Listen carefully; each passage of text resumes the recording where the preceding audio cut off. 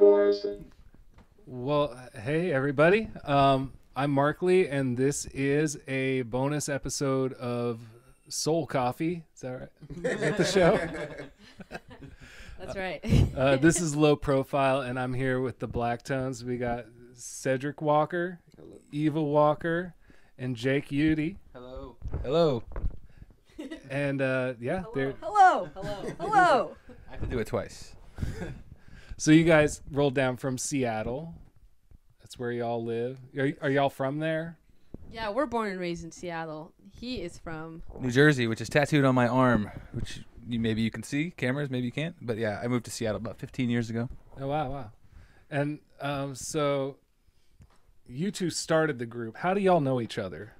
Um, that's funny you ask. We were actually in. We were womb mates before we became a band. Ooh, can we get a nice shot of that? Yeah. This is um That's that's that's the uh, ultrasound. the photo. ultrasound. We made That's T-shirts. Exactly what it was when we were in, in mom's That's womb. pretty much what it looked With like. With a guitar and a drum. the guitar and the snare correct. drum, and we decided to start. We were in the womb, and then we were like, "Hey, let's start a band." So, uh, yeah, we've known each other for, you know, a very, very, very, very, very long time. Our entire lives, basically. Yeah. Nice. um, and I we have actually a copy of your birth video. Can we show that right yeah, Yeah, please do, yeah, please do. Yeah, Here. I think that's good. All right, let's roll that.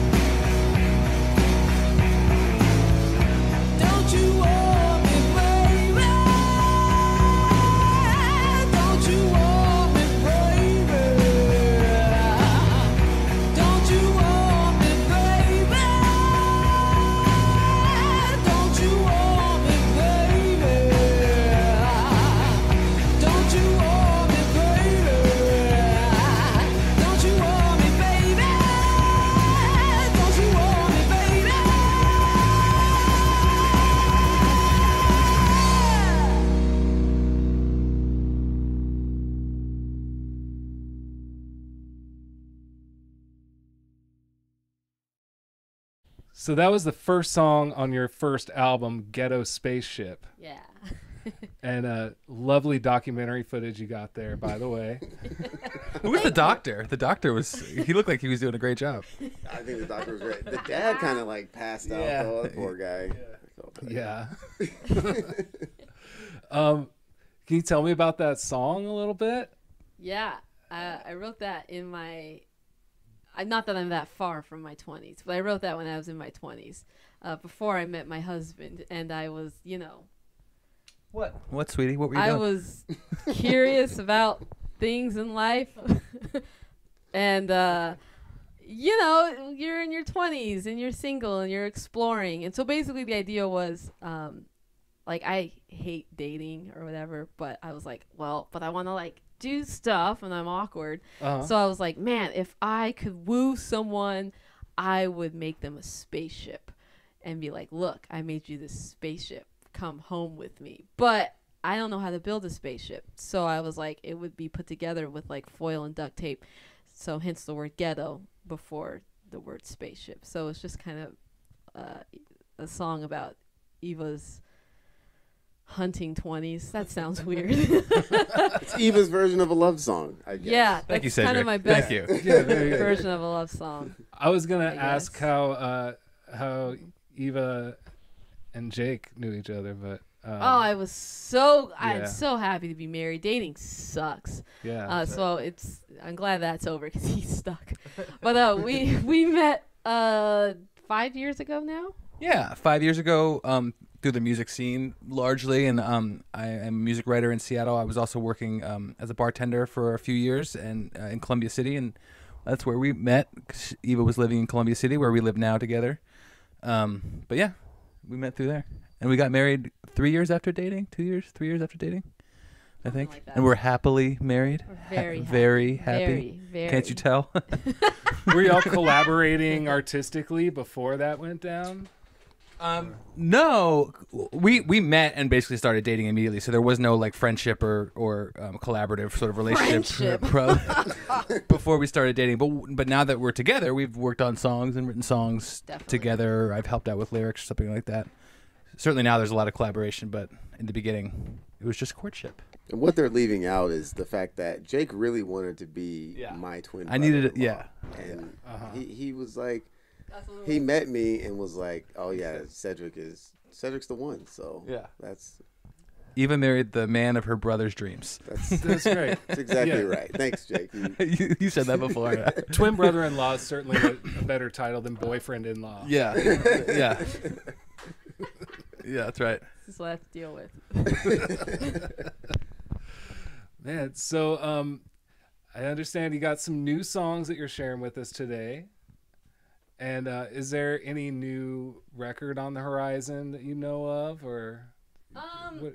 there's a release we're gonna be doing. I just don't know what when and if it's okay to talk about it. I don't know if we're allowed to talk about it, but we're releasing Okay. a single on a really cool label, and uh, the first song you heard is gonna be on that. And featured on that song is I don't know if you guys have seen the Talking Heads videos or uh, concert movie Stop Making Sense. Oh, But one of my favorites. Yeah. Yeah. one of the sing backup singers, Edna Holt, is gonna is featured on our song "Mr. Mines," and she's singing like some vocal riffing on it. So Oh, kind of think like "Great Gig in the Sky" kind of vibe. Um, so that's releasing I sometime early next year, like March or April. I Spring. think. Yeah. Yeah, in the springtime. Um, and so I think that's as much as I'm allowed to talk about it. All right. Uh, yeah, and uh, the um, second song we did is actually is the most recent release, I believe. The song "Where Do We Go Now," and that was released through this small boutique label called HockeyTalkter, that's ran by Mike McCready from Pearl Jam, and so um, he released those two songs um, from us. And the last song you heard, "The Key of Black," is actually Mike's favorite song from us, and so that's kind of how he was like, "Oh, I want to work with this band." So um, we released a single called "The Devil and His Grandmother" through his label HockeyTalkter, um, and Did he just like track you down, or his like- manager or his um, You're like business partner. business partner kind of he messaged me and was like, "Hey, you know, Mike saw you guys on Band in Seattle, this TV show that comes on in Seattle, um, where they like highlight local bands, and uh, and he wants to release some music, and I was like, hell yeah, like of course, um, and so he yeah he's I think he said he was on when I got to talk to Mike on the phone, he said I I think he had watched us on the airplane because it was also airing on Alaska, Alaska, Airlines. Um, and he told me he was like the first time I heard the key of Black Eva, I was floored, and I was like, wow. That means a lot. Thank you. And so I like to tell people, I'm like, you know what? If no one ever listens to our music again or buys a record, Mike McCready and my mom like my music. So it doesn't matter. I've already accomplished what I want to Nice, accomplish. Cool. Well, let, let's check out that performance uh, right here at the Happy Birthday House. Here's the Black Tones doing their latest material live.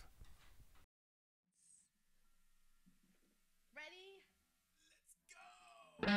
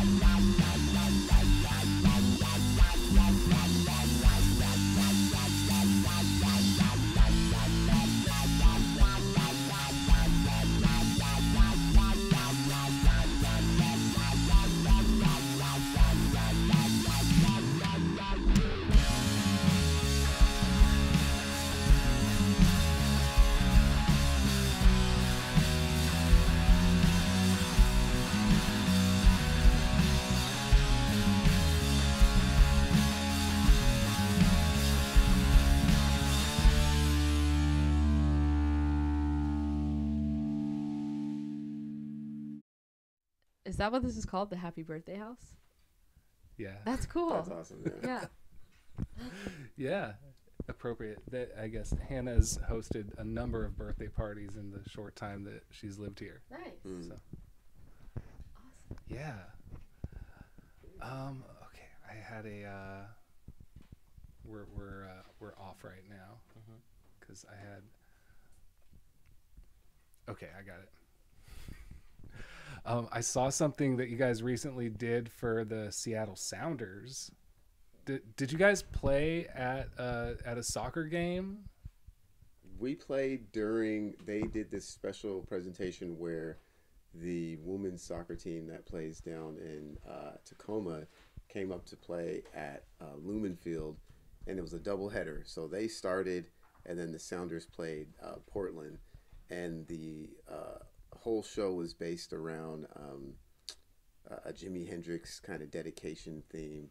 Uh, the Sounders wore their Jimi Hendrix jerseys. We kind of helped them put, or I, I wouldn't say put it together, but we just kind of helped them like introduce that and like We launched the jersey. yeah, helped launch the jersey and stuff. Okay. Uh, and it was right in between the games, and I thought what I thought was they were gonna kind of just pump us into the stadium. People will be still inside, you know, waiting for the Sounders to play, because we were playing out in the north lot. But what happened was everyone came out Oh to- wow! at the north lot to watch the performance, and it was incredible. And it was like I don't know, forty thousand people or something like that there.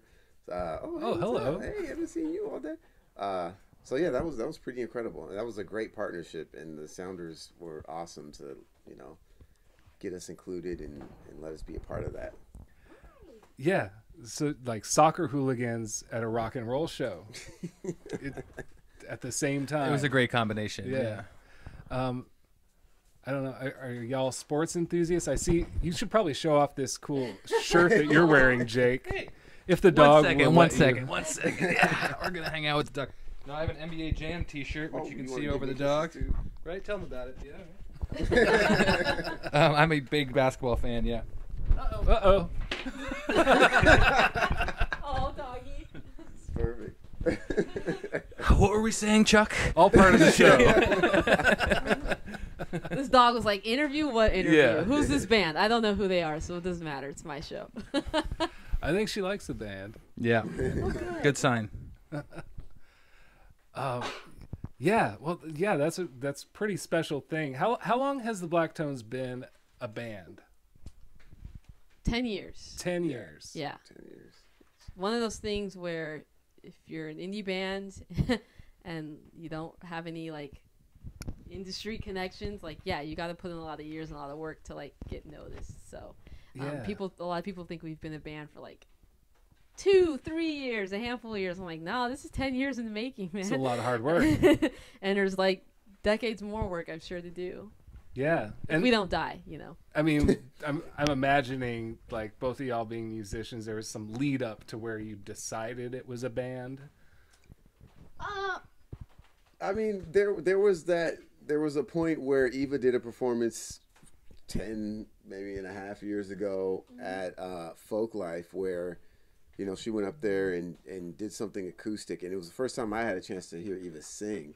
And she likes to tell people that I was like bawling my eyes out and, I- and like that's not even the case. I was moved, you know, because I, I didn't know she had that voice and maybe a tear or two came down. That's about it. Uh, but after that, um, you know, that at that point had inspired me to kind of be like, you know, what can I do to kind of help lift Eve up as high as I can? And I knew Eva was a fantastic drummer from high school. She used to play drums uh, for our steel pan group. And she would get in there and she would play, and then she would do like this crazy, because, like, no, with all due respect to all the other kids there, but, you know, they would play and they were good. They're horrible. But but Eva would play, and then we'd be doing something, and Eva would just hit this fill, and all of us on the lead would just turn around and be like, you know, like we were just like, what is going on right now? And so I told Eva, I was like, hey, I want to play drums for you. Like, let me play drums. So we went to Seattle Drum School, and she taught me how to play drums, and here I am now, molded into her drummer. Um, I think I still have a job after this, but you know. Yeah, yeah. yeah, and after that, I was after we did some lessons, some drum lessons, which she caught on super fast. um, I was like, "Hey, I've got some songs written. Do you want to like learn them and put them together?" And like, and we we did that. And maybe about that time, we were like, "This is a band, right?" I yeah, guess. it was. I was probably like late summer, maybe going into the fall. Yeah, of think when we 2011 or something like making that, them yeah. songs, we were kind of like, "This is a band," but we didn't like Mhm. have a name or anything yet. Yeah. Where'd the name come from? When? How Um, did you arrive It was there? originally called Rosette Royale, named after this guy who worked for Real Change newspaper in Seattle, um, who interviewed me when I was like 16 or 17 because I used to put on concerts, and I loved his name. And Yeah. so I was like, let's name it Rosette Royale. And then I remember when I saw him later, I told him, I was like, you know, I named a band after you because your name's just really cool. And then from there, we saw there was a lot of people with called the Royales, or like a lot of bands with Royales. And we were like, okay, let's go with something else. And my favorite color is black. It's just beautiful. I'm not gothic or anything. I don't have anything against that, but I just like Uh-huh. the color. It's a beautiful color. Um, and a friend of ours was like, what about ebony and the black tones? And I was like, I don't think we need the ebony part, but like the black tones is cool. Um, so we were like, yeah, let's be called the black tones. Nice. I um, as an aside, I, I have a solo project, um, but sometimes when I have a band get together to back me up on my material, we'll come up with a separate band name, so, like, and um, I guess it was about six, seven years ago, and uh, the bass player, whose name was Brian Wilson, um, nice. he suggested we call the the backing band the Blackstones after a teacher or no an engineer a music engineer he knew named Blackstone Wow. who uh, he always drank Bud Light and so they called Bud Light Blackstones and he was like always bringing Bud Light to our practices he's like we're going to pass this tradition on to this unit That's cool. um so so we're basic we're practically family Yeah, That's what I said. practically related. Pretty much. Pretty much. Yeah, no, it, it all. I mean, it all started in my grandma's basement. You know, with Yeah. us learning the songs uh, and putting them together. And I'm so grateful for my grandmother's basement. And our family's been super supportive of all this. I mean, we come from a family of like educators and engineers, and they all got master's degrees. And we like dropped out of college. We're like, hey, we're gonna start a rock band. Like on paper, they should have disowned us, and they were like, okay, sure, start a rock band. I was like, cool, you're cool with this? And they're like, yeah. My mom's like, it's easy because you guys are good. If you guys are bad, it might be a little bit harder. Oh yeah, to, they would have get told us if we were bad. She goes, but your guys actually sound good.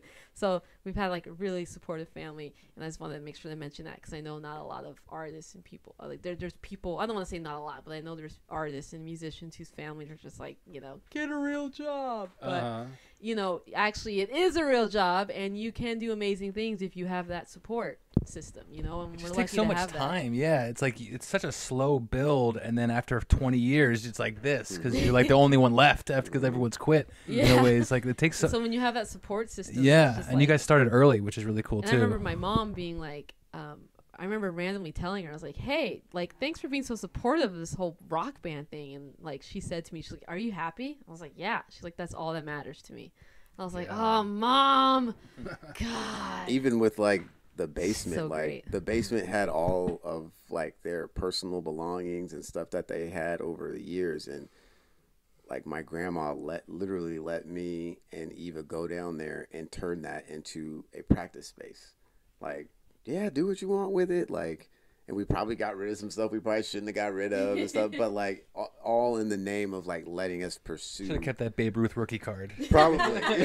yeah, yeah, just like just little things like that, you know, like you know, just yeah, go for it, sure. You know, they could have been like, "Don't destroy my house." Like, what are you doing? I don't know what you're doing. a you rock know? band. But also, like, maybe it's important to note that, like, we're first generation Seattleites. Our family's from Louisiana. They're from New Orleans. And so they, like, love music anyway. oh yeah But, like, I didn't know if it would be, like, jazz versus a rock and roll band. But uh, they, like, just love music. And my grandma, we would rehearse or. And maybe I would run upstairs to get something and she's tapping her foot while the bass and the drums are going. Like, just totally 100% into it. And so that just makes it easier to pursue it. And I think one of the reasons we've been able to be suc relatively successful at it as an indie band is because of uh, our family support. And our and and my mom sings on stage with us uh, for a lot of shows, and my sister used to. but um, yeah, we're like we're a family band. My mom's open for Weezer. My mom's open for Death Cab for Cutie. You know, my my mom's open for Mavis Staples. Like she's been on all those stages with us. Yeah. Um, it's been really awesome. Oh, that's great. You, you ever take your show out to Louisiana? We haven't yet. I No. just he proposed me in Louisiana, so my first time going there was just a few years ago. Um, Oh wow. We may have tried, but the pandemic, like, Yeah. there's like New Orleans Jazz Fest, which has a lot of rock bands and stuff like that. But Yeah. when the pandemic hit, a lot of stuff got stopped. yeah, we went to. New Orleans like a year before the pandemic, right? 2019 or 18. Uh, yeah. It was on Halloween, but Yeah. it I was think we like went a couple months afterwards. yeah, and then we were gonna go again. Pandemic Yeah. hit. Mm, man, I'm sure they'd eat it up. Absolutely. I hope so. Yeah, and yeah, how, the Mavis Staples thing totally blows my mind. Just like getting to share the stage with like a living legend like that, and you know, I mean, that's probably going to be y'all someday. Some kid that's not even born yet is gonna get to be like, I got with the black tones for a night. Like, As long as that kid doesn't do what I did, because I ruined it. She was right directly in front of me, and she was like, "Hi, baby," and I was like, "Ah," I'm Cedric. and like you know, I'm just thinking What's like, my name again? yeah, and I'm just thinking like, my mom used to play you and stuff, and like I'm just staring, and then the security dude's like. All right, we're gonna give Mavis some space, and I'm like, I just ruined it because I got starstruck. You know, like I, like I've never Oh, man. really. I mean, yeah, I've, I'm sure I've probably been star, starstruck before, but like that was just like a whole another level of like, Every household has had. I'll take you there on vinyl. yeah, you know. And I, I just, Yeah. I just froze. I was just like, uh, and just it was, it was very embarrassing. But if, Mavis, if you're watching this, I'm sorry. oh, hold on, there's a dog fight. Illegal dogfight. A legal dog fight, yes. A legal dog fight. Um, Eva, your lyrics are largely true to life, and I'd like to give you the platform to speak about your arachnophobia. Yeah. Oh, This might lead into the next song, by the way. yeah. I hate those things. Um, they're like walking letter M's. I don't know. They just look terrible. And uh, since I was a kid, they just my how, however my brain makeup is is made or my wires are wired, they see them and they're like, uh, you're the enemy. You know. Um, You feel like So- they're attracted to you?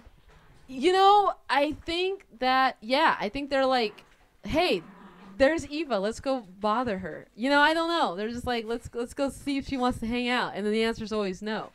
Um, but yeah, uh, well, more accurate title would probably be Cedric. There's a spider in my room because growing up, I feel like he actually killed all my spiders. Yeah. But everyone like doesn't have a Cedric, but um, most people have a mom. There So was a I recent like, incident It's more. Re- in my car that oh my god. by Eva was accusing me of putting it there, but it was by, a conspiracy. by, by accident the window was down all night, and Eva had we I went to I think I went to pick you up at from mom's house, Mhm. and we got in the car, and right next like once Eva like shut the door and we're getting ready to drive off, like a spider just kind of just plops down, It was huge. and she just starts flipping out. I'm thinking there's like a bee in the car It was because you know that would terrify Like me. Like a bear. or like- yeah, you know.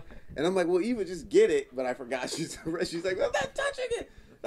So I had to stop the car, It was grab the awful. tissue, Uh, grab the Become a murderer. He doesn't. He still doesn't hear the end of it. You know. I'm just like, yeah. you know, I get in this car to travel with you, and I don't know how the spider got in the there's car. a I have no ginormous spider in it. And I told him, I was like, you should, you owe me an apology. You should take responsibility for the spider. How, how are you with spiders, Jake? Uh, I don't know. I, I, I don't. I wouldn't sleep in a bed made of them. Um, but I, they don't. They don't scare me. Um, and I usually kill them if I have to. Although before Eva, I would. I'd like to put them in a jar and bring them outside. See, but I that's don't how have. I I, do don't it. have that. T- that. we, sometimes Time. we just don't have time, though. Like, See, y- all you jar put inners and then let them out. They Jar, come to my put house, inners? and that's Oh. what they do. And so I'm gonna start blaming you guys for them coming to my Is that house in the 'cause you should've dictionary? destroyed Then them. I like. I wave jar one of your putters? hairs in front of them so they can inners? smell it, and then and then they they go. come find me. Yeah. No, they're terrible. Now, little, little, little tiny ones Uh huh. I could deal with, and But when there's little, little tiny ones, there's usually a lot of them. They That's well, freak that's me why out it's And more. you scary because I'm can't- like, oh, yeah, there's you probably a can't see million where of those are these at. Yeah. because it's, there's probably some like giant sack of baby spiders somewhere. But they're small enough that it's like, okay, whatever. But when they start, I mean, after Smaller ones certain are much more worrisome. They can like crawl into your bed and get into your hair and like, you I know, mean, like Yeah. teeny tiny ones, you just roll over and kill it or something like that. But like I don't know. giant ones, and I know giant is relative, but like Yeah, yeah. It, it all depends Like, on how close they are. how- reasonably yeah. giant yeah, yeah. spiders. And it's it's it's so bad that there's literally places in the world that I don't want to visit because I don't want to see like Australia. I ones. love to go to Australia, but then I also am like, but I don't. Because I know there's like Yeah, yeah. tarantulas I there, thought right? they were known for like big mosquitoes though, you know, which is probably not any better. they're but- like tr- tropical or whatever. So Stay out of Texas too. really, The- well, everything's bigger in Texas. okay. Yeah. Well, sorry, Texas. Um, do you buy that stuff about how um, humans Well, like eat other lots of reasons to spiders to in Texas, their sleep but- at night? I don't know if I'm buying that. Because I never caught one in the act trying to climb into my mouth. Yeah, I don't know. I I don't know read if that that's somewhere, too. Yeah, I think and I that's just like, something people tell. It's like a folklore. I don't know if that's real. But yeah, spider in your personal space, not cool. Can't do it. You wrote a song about it. Let's check it out.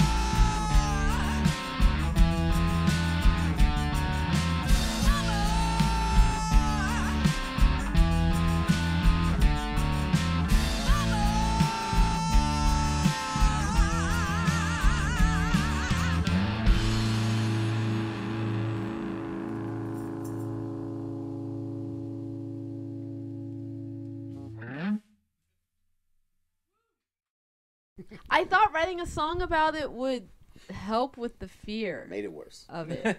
Now people just bring it up all the time. Yeah, it was just- exactly, I yeah. could face it. And some people interpret the song like, "Oh, "Hey, is this?" One guy came up to me and was like, "That song you wrote about the Klan." I was like, "What song?" He's like, "This the spider song." I was like, "Oh, it's not about the Klan." I was like, "I was like, that's just that's about spiders." But I know why he said that because that shows I would tell people how much I hate spiders. I would say, "This is how much I hate spiders." Ku Klux Klan spiders, and people were like, "Oh." But it- I'm like, and then I would joke and laughs too. and then like, yeah, and there's certain states I don't do the joke, right? But Uh-huh. um, for the most part, I would uh, it, I would just say that because it's it's funny and the Klan's stupid. It's funny to laugh at them. So Uh-huh. um, yeah, I was just like, uh, it's not about them. It's just kind of funny to compare them to an in- insect I don't like. Yeah, yeah. Yeah. And then I would end it with like, so if you're a spider or in the Klan, you might not like this song. But I'm in the Klan. But I'm in the Klan. Ah, shucks. Oh, this Well. song's not for me. Pass me my hood. I'm gonna go Oh, cry. I'm leaving. Coat check my hood. Go check. oh, my ticket for my hood. losers. This is the dark part of the interview now. Yeah.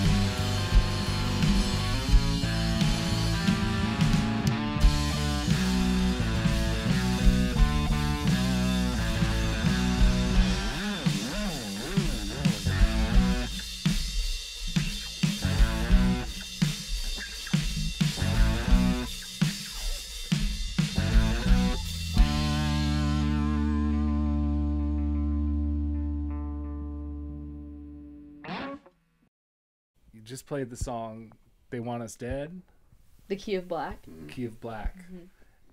and allegedly there's a video game. Mm, Not allegedly. yes, not a. I couldn't find any evidence of it. I found a link that didn't work. The link, the freaking server's been down the last few months, and those people are impossible to contact. But um, but there is there's a video. there's game. a video game, and like there's write ups on the video game. But for some reason lately, the link's not working. Of course, we're still paying for the freaking server, but it doesn't it isn't working right now. But it's speaking of the clans, four levels of hate groups, and you fight as me or Cedric and it's it's uh, modeled after the Nintendo game Kung Fu.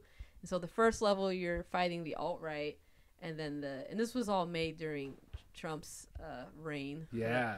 And um, so the alt right's the first level. The second level is the Ku Klux Klan. The third level is the Nazis, and the fourth level is the Confederates. And so you can pick. You go back you in time. fight. Yeah, you go back in time. Each level goes further back in time. Oh wow. Yeah. And uh, um, David Brender and Corey Collar Mm-hmm. uh, both made the game for us. And um, Corey, who like really spearheaded like the programming and everything, worked completely for free. Um, and Corey's passed away since, but um, I'm we're Hence, forever. hence the server issues. Y- yeah, well, we transferred it Yeah, over. yeah. Yeah, Yeah. but um, um, he was incredible and volunteered his time to do it. Um, so Shout out Corey. shout out Corey. I don't do a lot of video games, but that's that's my era. Kung Fu. Like, yeah, yeah. not the alt, not the Confederacy, but uh, the. Uh, yeah. No, no. Like like 1980s, 8-bit Kung early Fu. 90s. That's about where I dropped off the video game thing. I love Kung Fu. That game was awesome. Yeah. Did you ever play that game I'm trying to remember if I played Kung Fu specifically. on an original Nintendo? yeah. Yeah. It kind of moves back. Like, you Yeah. go backwards with the. Um, usually in games you you go from left to right. Oh Right, yeah, also you do. right to left. Yeah. Okay. Side scroller. Mhm. Yeah. Nice. So hence the maybe So like when the link starts time. working, Yeah, or when the server yeah. starts working again, hopefully people can actually start playing it again. But as of now, we're still paying for it, and no one can play it. Well, who can the viewers and listeners write to to make sure that that happens? Oh Capcom. Man, you know what? wish. Thanks for asking. I don't have the name of the server on me right now of the site that's hosting it. and I don't know how long it'll take me to find that. Okay. but if we'll I put find it in that, the credits. There go. yes, if I Yeah, find yeah. that, then I will send it to you and put that in the credits. Like, please write to these people and tell them to get our shit working. Yeah. Make it happen. I can't wait to play it. Yeah, Um, it's fun. so any any plans to travel musically, regionally? Have you have you guys left the country before to perform? Canada. To yeah, yeah, Yeah. To, yeah. We've just played in like Vancouver? Yeah. Vancouver, yeah, Yeah. but Exotic Vancouver. Yes, Yeah, yeah. It's a I love worldly it. city, though. It is. It Um, is. but no, that stuff is actually on the way because we're gonna be signing to a um, This is top secret international label. Yeah, Yeah, yeah. who I guess I won't say their name yet, but Yeah. they're based out of Australia. Speaking of tarantulas. Oh Australia. wow! So you might get your She's gonna Chance to face your uh, fears yeah, there. She has to. Um, and there's gonna there's definitely traveling in the in the fu- near future. cool. Yeah. Um. All right. Where where are people gonna find out about this?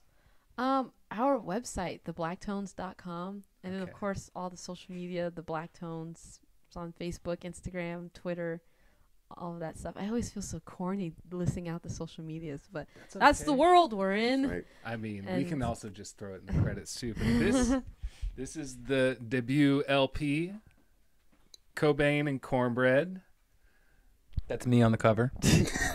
on the plate. Those are my jokes. nice and still for you.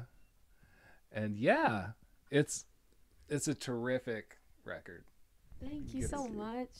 It's gonna get the grooves are gonna get worn out The- before too we long. named it we named it Cobain and Cornbread because when people ask bands like what's your sound what do you sound like like our influences are northwest but also the south because we grew up in a very southern household so when people would say like what do you sound like we would be like i don't know a combination of Kurt Cobain and cornbread Yeah. so it's supposed to represent like Cobain representing the aesthetic of the northwest and cornbread representing the aesthetic of the southern united states nice. um, and that's why we named it that. But I mean, I wasn't listening to Nirvana when I was writing those songs. It's just kind of representative of like who we are and It's kind of just the in influences the air. of both It's in the atmosphere. yeah. It comes out.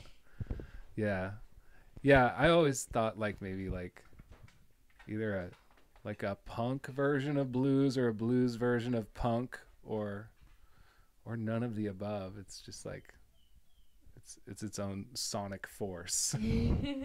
yeah, and it's a family band and you can feel that I think Nice. in the definitely a family. in band. just like it's in the vibe. yeah, for sure. So, yeah.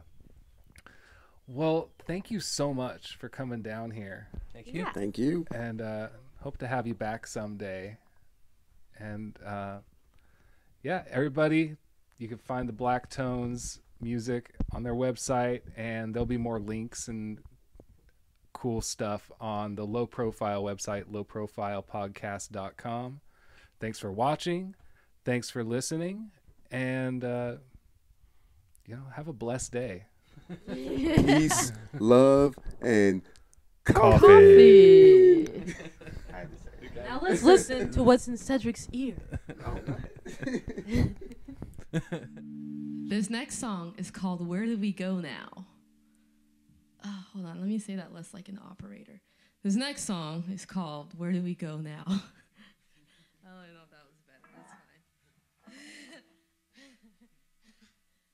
oh, I This next song is called Where Do We Go Now? Where do we? Yeah.